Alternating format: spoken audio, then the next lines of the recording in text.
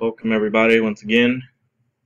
I'm uh, Cesar Ramos. I'm the uh, creator of uh, Advanced Planning Analytics and I created an Excel Gantt which I call basic which roughly is but I had a lot of requests to uh, create one that has uh, progress bars so I put a little bit of thought into it and uh, that's what I'm going to post out today.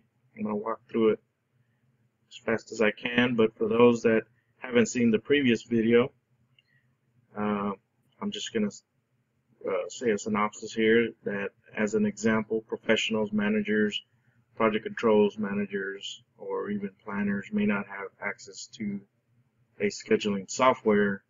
However, probably management may have a need to create an executive level 1 or level 2 in the absence of that software. Basically a Gantt chart if you will. So this was a quick tip and trick on how to do it. So in this uh, example I'm going to start with the one I created previously and for those of you that didn't see how I created this uh, I would just say uh, go to the previous video and and uh, watch the video. It's not that long. But for those of you that have seen it, then I'm just going to go ahead and start off from, from this point forward. So I want to show progress bars in the sense of emulating progress. So I put a little thought into it. I'm going to put this chart aside for now. And in order to do that, I have to do a few things. I think I need to insert about three rows. I'm going to call one uh, duration complete.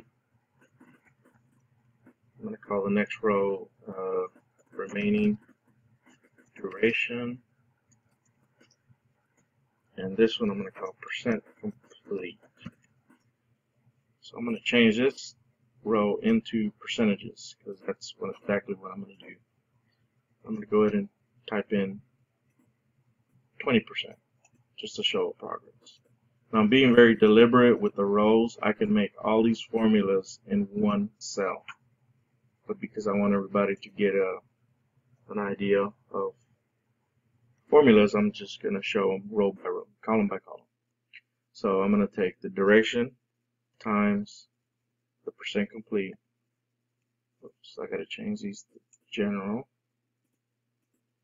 And then I'm going to drag that formula down. So basically I'm saying whatever percent complete I type in here, I'll just highlight that.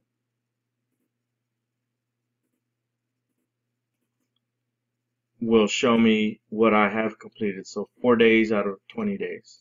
And then for remaining, I'll just take the original duration minus what's been completed. You may want to call this actual duration. Uh, you can name it what you want, or you can make all this in one formula it's up to you guys, but I, am just doing it to represent uh, values. So if you notice, these two combined add up to duration. So this is what I need for right now. I'll squeeze these down a little bit. So for the chart, if I work through this chart, I'm going to use the existing chart. I'm going to go ahead and right click, select the data, so I'm to put this over here. Oops. My days are already there. I'm to have my start, my percent cumulative for the curve, but I'm going to add another one and I'm going to call it, uh, I guess I'm to call it remaining.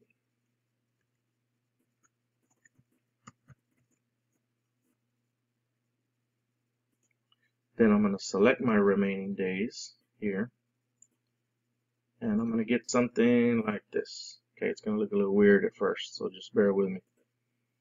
I'm going to right click this curve that showed up. It's a line, and I'm going to convert it back to a stacked bar graph. Now it looks almost like we're getting somewhere, right? Um, let me check this series type. It's also stacked. Good. Perfect. So you notice that when I selected the original bars, uh, the original duration is selected. So here, what I'm going to do is take the duration complete to show the bars that are completed. And this will be my new remaining. So combined, this is still uh, your overall duration. But they look a little goofy right now. So what I'm going to do is I'm going to change my bars, format it to a color. I'll make them just a slight off green for now. And I'm doing this for a reason because I highlighted these as critical and I want to change them back to critical. So by doing this, you select the whole series and it'll change the entire series. But I want to change only this independent one. Data point is what they call it. And I'm going to change this one to red. So it'll still act as its critical. I'm going to select this one as red as well. This one as well. I'm just trying to make it consistent with what I previously had. And this one, red.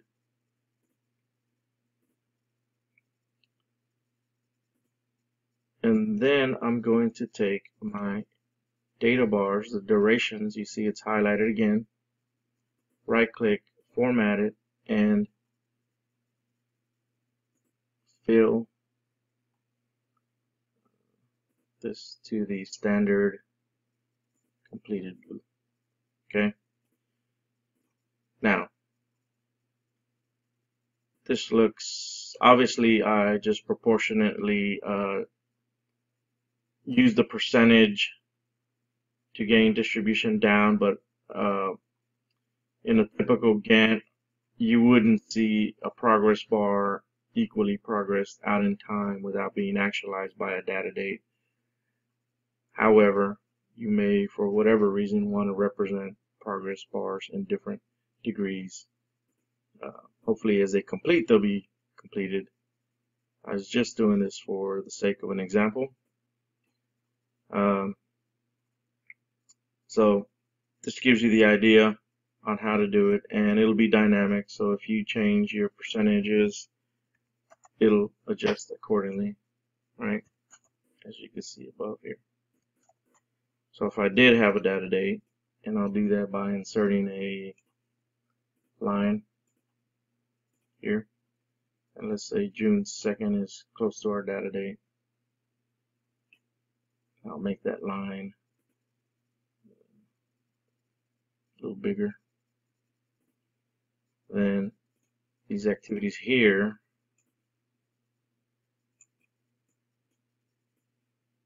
in this timeline.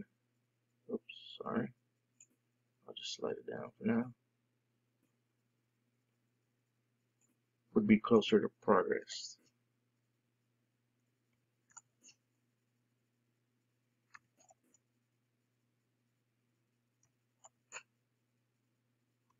I'm just trying to make it aesthetically consistent.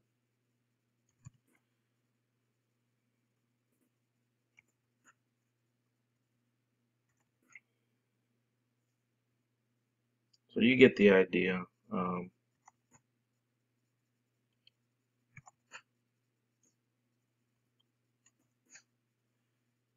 the rest of these will be blanked. Right? So there you'd have a data date bar and then you could progress it dynamically.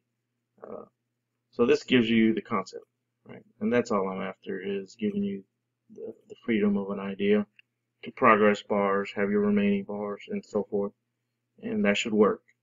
These dates will be dynamic, so if you do change duration, percentages will change accordingly, uh, just like any software would take your duration percent complete. So uh, that pretty much covers this topic. Hope this helps you guys uh, in uh, pursuing anything you're trying to do or achieve. And uh, again, I'll have this file downloadable for free on my link on my webpage. So if you go to scroll down to the bottom, you'll find it uh, uploadable. All right. So thank you for your time, and uh, see you next time.